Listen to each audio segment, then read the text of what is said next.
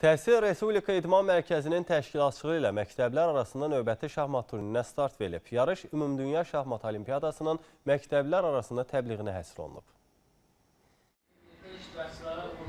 Təhsil Nazirliyinin dəstəyi ilə təşkil olunan turnirin açılış mərasimində çıxış edən Təhsil Respublika İdman Mərkəzinin direktoru Natiq Lahıcov və Nazirliyin məktəbəqədər fəaliyyətin təşkili şöbəsinin idman sektorunun müdiri Hilal Əsədov ölkəmizdə idmana dövlət səviyyəsində göstərilən diqqət və qayğının məktəblərə də böyük stimul verdiyini və belə yarışların onların gələcək inkişafı üçün əla fürsət olduğunu vurğuladılar. Qeyd olundu ki, paytaxtımızda keçiriləcək Ümumdünya Şahmat Olimpiyadasının məktəblər arasında təbliğinə əsr olunmuş Respublika Şahmat turniri bu dəfə yeni formatda keçirilir.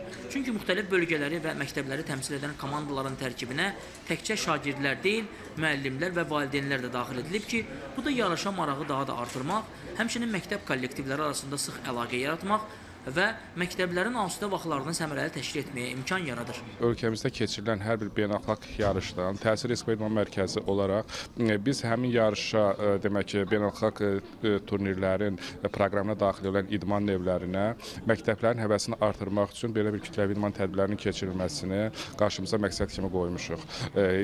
Əsas məqsədimiz ondan ibarətdir ki, məktəbliləri kütləvi surətdə demək idmana cəlb edək. Təhsilin keyfiyyətinin artırılması baxımından təhsil alanların fiziki sağlamlığının qorunması bizim ən öndə məqsədlərimizdən biridir.